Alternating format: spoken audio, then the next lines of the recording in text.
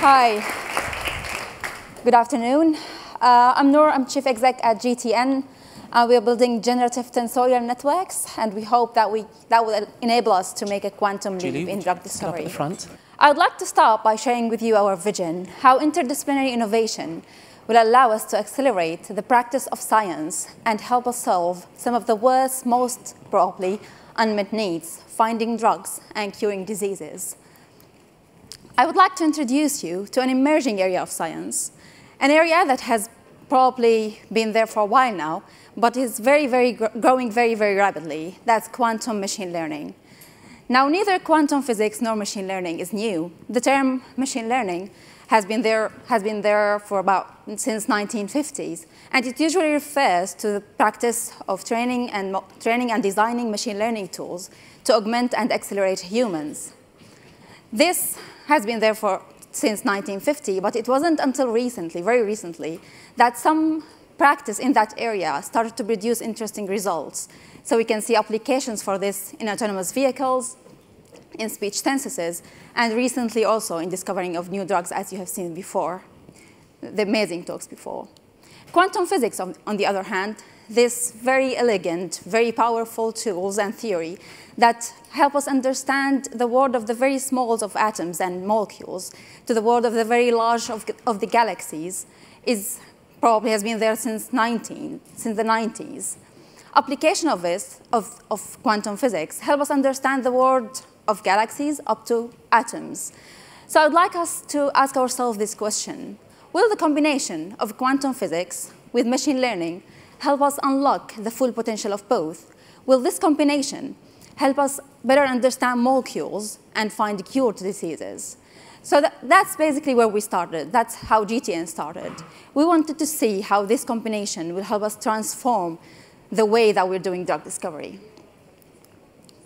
So we believe GTN is uniquely positioned in the intersection between quantum physics, machine learning, and chemistry.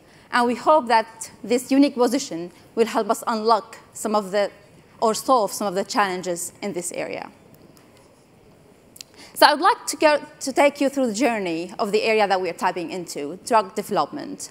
So whenever a bi biological target, usually a protein, is identified, you go through a very, very long journey to identify a small molecule, in this case, that bind to this protein.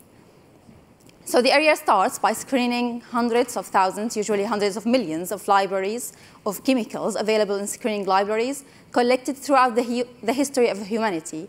And you want to identify the few that are active against the target. So out of hundreds of millions of compounds, you end up with thousands that are usually effective against a disease or show, show, some interaction with a disease. You filter the effective one out, but most of them are usually toxic, have insoluble, or have usually of low efficacy. You filter them out and you try to optimize their structure to increase their properties or to improve their properties. You end up with hundreds that are good enough to be tested on animals. Eventually, you have a handful that are safe to go into human testing, and probably one, if any, will go into clinical trial. Into, eventually will end up as a drug. So this journey, as you have seen before, takes about 15 years. It costs $2.6 billion.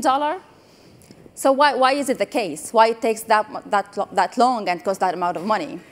What's actually also very, very interesting is that the, the return of investment on R&D in, in, in, pharmaceutical company is, is expected to drop in half every nine years, which basically means that there will be diseases that we can't cure anymore. Does anyone know what this is? This is actually the, the representation of penicillin. And the, the, the reason I put it there is because this is actually the way that we feed machine learning tools. This is the representation that we feed into machine learning tool to invent new drugs. And as you can see, there's very, very little information incorporated in, in, in, this, in this structure. Chemicals are like a very complex structure of atoms, electrons, the electronic cloud, entanglement, quantum mechanical properties. And without feeding machine learning tools with the right information, you can't really get them to, to, to perform properly. I come from a machine learning background, and I've been doing AI and machine learning for about 10 years in academia. And while I came to appreciate the power of this method, I also came to realize that without feeding them with the right information, with the right image of reality, you won't be able to get them to, to effectively work. So representation is crucial.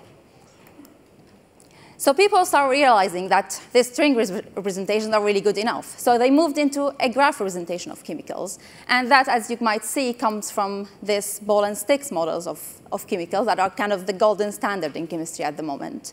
So people started converting these models into graphs using specific types of deep learning models to feed those graphs into machine learning to invent new drugs.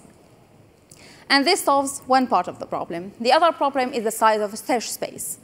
So the, the number of chemicals that, that, are, that could potentially become drug is about 10 to the power of 60. If you think about how large this number is, it's actually almost as the number of atoms in the entire universe. So searching and discovering in this space is a very, very challenging task without having the right tools. So that's exactly what we're doing at GTN. We're trying to use ideas from physics in order to represent the wave functions of chemicals, taking into account quantum entanglement properties, and combine that with the recent state-of-the-art machine learning tools, deep learning tools, to be able to predict chemical activities more accurately, and more importantly, to sample new novel chemicals from this huge drug-like space. So the idea that we're taking from from deep learning, our generative adversarial network would have recently, very recently, achieved remarkable results in replicating images and text, basically producing realistic images of faces, bedrooms, uh, kitchens, that are very hard to differentiate between real images and images synthesized by, by, the machines. So why not, not taking this analogy and feeding these powerful tools or custom version of them with a wave function representation, with the actual image representation of the chemicals and get them to predict and to sample new instances. So this is kind of the history of how, how, of how things will come through. So for probably seven years ago, we had uh, convolutional neural networks are trained on images. Recently, they have achieved pretty much, pretty much near, near human accuracy in predicting what's in the image and in sampling new instances. In the chemistry field, for about a year ago, people started working on what's called a graph convolutional network, which are networks similar to convolutional network on, networks on images, but are trained on a graph representation of, of the compounds, of the chemicals. What we are trying to do is to take this a step forward, and instead of feeding those with, with, with the graphs, we're feeding them with either more, more, more advanced graphs enriched with, with quantum mechanical properties. Eventually, we would like to feed in the whole wave function representation of the chemicals. So I would like to end with two examples. So GTN is now one year old, and I'd like to take you through two examples of the thing that we've been uh, tapping into or like working on for, for the past year. So this result is uh, for one project that we are currently running with one of the top 10 pharmaceutical company. Unfortunately, I can't share the details because it's still under NDA. But the idea is that we, we basically want to predict what's called IC50, which is binding affinity or how well a, a chemical will bind to a protein. And that's very important for two main reasons. On one hand, you want your chemical or your, your eventually a drug. Uh, you want it to bind to a specific protein very well. On the other hand, you don't want that chemical to bind to a whole set of other proteins because otherwise it will kind of initiate a toxic reaction. So what we are trying to do in this uh, model is to build a single model that can predict this IC50 or binding affinity, a, a whole, uh, along a whole range of proteins at the same time. So kind of like building one, one model for a whole range of protein for certain chemicals. And what this graph shows, in short, is that basically our models at the moment are beating other standard machine learning tools that are publicly available. And our goal for the next few weeks is to prove that we are also outperforming the models that have been developed in pharma on, on, on pharmaceutical uh, real-world data sets. The other problem that, the other kind of challenge that we're working on is, along the lines of representation of chemicals and how can we model wave functions of chemicals. Um, for this purpose, we're trying to develop what's uh, ideas from physics called tensorial networks to represent chemical structures. And those are usually very uh, computationally heavy. So at the moment, we're running experiment to simulate wave functions of chemicals up to 40 atoms. It's, uh, we're using libraries of 7,000 chemical, and that's taking us about 40 days on 12 computational units. Our hope for the next few months is to cut this number down into one day by increasing the parallelization and developing our model, optimizing our models further so that we can run this, these methods on scale. So this work is done by amazing minds on our team. I would like to thank them all. Uh, we have a great team of uh, 11 PhDs in physics, computational chemistry, uh, uh, machine learning, chemistry. So uh, they've been contributing to all the pieces and putting all the pieces together so that we have a complete platform. We're also joined by a great team of advisors, uh, world-leading computational chemists and physicists and chemists and business that helping us, guiding us through, through the way. Uh, we're collaborating with uh, some of the world-leading research and academic institute. We also have pharma and biotech collaborators that we cannot disclose at this phase.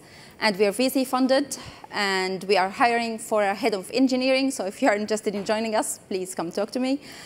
And that's it. Thank you very much. Thank you, Noor.